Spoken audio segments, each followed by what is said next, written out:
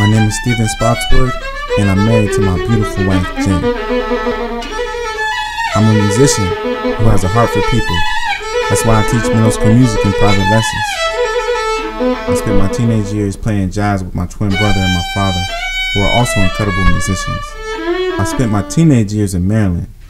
I left Maryland to attend Capital University in Columbus, Ohio, and I fell in love with the city.